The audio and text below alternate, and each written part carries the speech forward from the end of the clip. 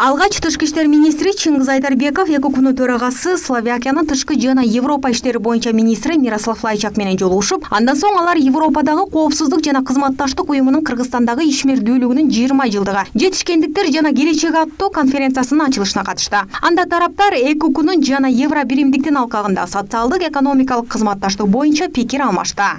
Словакия взяла кыргыз республикасынын эккунун маанилүү катышуучусу деп эсептейбиз. Биз эккунун алкагындагы биздин кызматташтык жана өз ара аракеттенүүбүздүн жыйынтыктары менен сыймыктанабыз кыргыз республикасынын өкмөтүнүн бишкектеги экку академиясынын ишмердүүлүгүнө көрсөтүп жаткан колдоосун жогору баалайбыз өз кезегинде чыңгыз айдарбеков кыргызстан менен экукнун кызматташтыгынын флагманы болуп саналган бишкектеги экуку академиясынын ишмердүүлүгүнө берилген экукнун жогорку баасын кыргыз тарап тең бөлүшөрүн белгиледи ал экукнун бишкектеги академиясынын дараметин пайдаланууну күчөтүүнүн маанилүүлүгүн баса белгиледи тогда э, на территорию кыргызской бүгүнкү күн тартибине кирген эки тараптуу кызматташтыкты өнүктүрүү багытында үстүбүздөгү жылы эки өлкөнүн тышкы иштер министрликтери кеңешме жолугушууларды пландоодобуз бизде бир катар долбоорлор боюнча кол коюулар жана макулдашуулар күтүлүүдө эки тарап тең макулдашылган документтердин жыйынтыгына өзгөчө маани беребиз и запланировали ошондой эле тараптар кыргызстандын экуку менен өз ара аракеттенүү маселелерин кенен талкуулап кызматташтыкты бекемдөө ниетин билдиришти. Алар сүйлөшүүлөрдүн жүрүшүндө жетишилген макулдашуулар эки тараптуу кызматташууну өнүктүрүүгө жаңы дем берерине ишеним билдиришти соңунда эки тарап биргелешкен билдирүүгө кол коюшту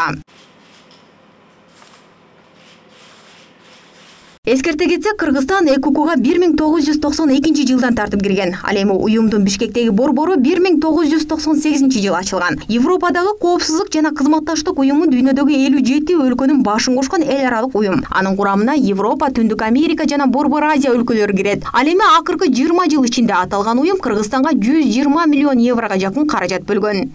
Сүйүнөт агаева бакыт маматзаев пирамида